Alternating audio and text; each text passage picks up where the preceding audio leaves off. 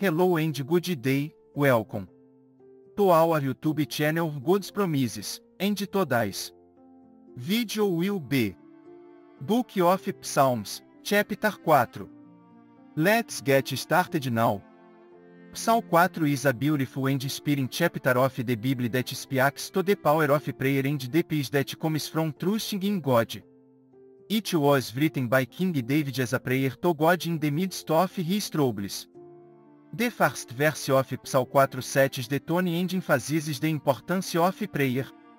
It says, Answer me when call to you, my righteous God. Give me relief from my distress, have mercy on me and hear my prayer. This verse emphasizes the power of prayer and our need to call out to God in times of trouble.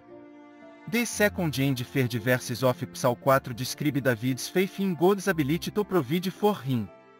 It says, How long will you people turn my glory into shame? How long will you love delusions and seek false gods?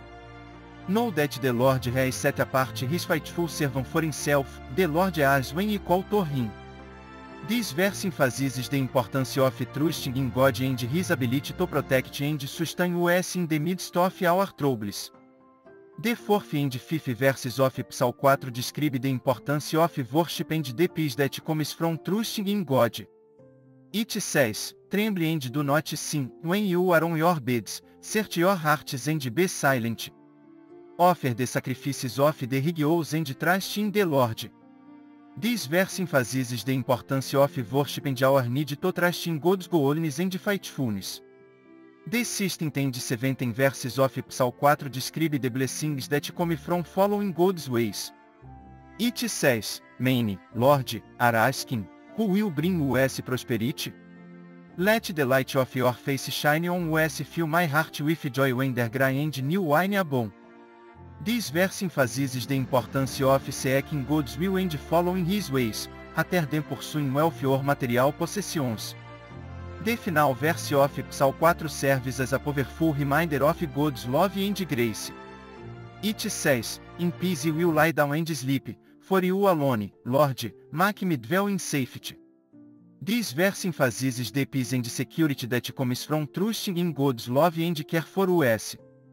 So what are the day-to-day applications of Psalm 4 for us as Christians?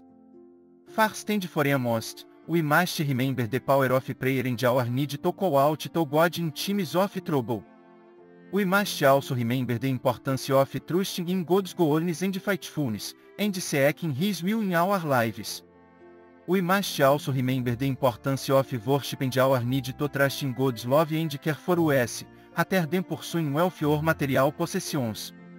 As we seek to live for Him and follow His ways, can experience the peace and security that comes from trusting in His grace and love. Obrigado por nos por favor, compartilhe conosco o seu capítulo bíblico favorito, abaixo na seção de comentários. Não se esqueça de curtir e se inscrever, isso realmente ajuda nosso canal a crescer. Espero vê-lo de volta aqui para o nosso próximo vídeo. Cuide-se sempre bem.